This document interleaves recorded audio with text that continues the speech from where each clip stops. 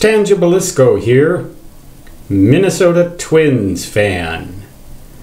I'd like to just remember something uh, from the 1960s, the era of Harmon Killebrew, Bob Allison and company, and the year 1965 when the Minnesota Twins won the pennant and played against the Los Angeles Dodgers, losing in seven games. Tony Oliva came into his prime just, uh, I believe it was 1964 or thereabouts. And the first thing I remember, well, really the, the prime thing I remember about this guy was how the announcers remarked at his batting average early in the season. One year, his batting average was well over 400. He was a phenomenon, a future great, no doubt. But knee injuries cut his career short. He became a designated hitter and what could have been one of the greatest careers in baseball history had to become, well, still one of the greatest, in my opinion. Company to Harmon Killebrew, Bob Allison. Yes, I'm from that era, and I remember those twins and those teams back then, particularly the twins. But I remember the teams were a little different than they are today.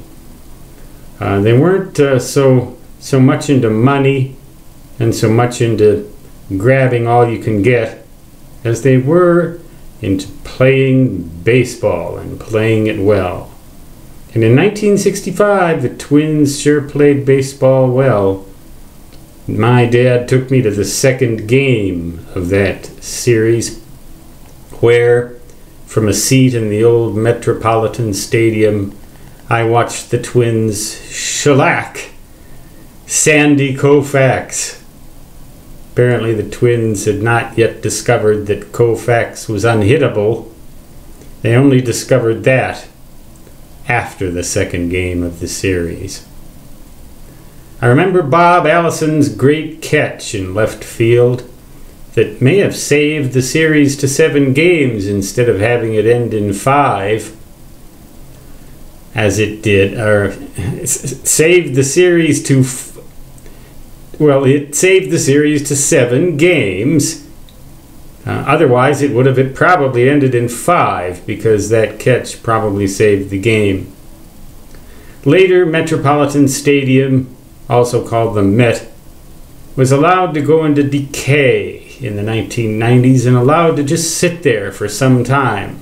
And if you go to Wikipedia and find that stadium and look at the pictures, uh, taken by one of the photographers of the uh, demise years of that stadium, the years when it sat neglected. There's a particularly depressing picture in there. That's what Bob Allison would have seen as he played left field during that World Series. It's what he would have seen as he looked to his left, the Longines clock on the billboard and in that photograph, just stray rocks, tall grass, and stray dogs.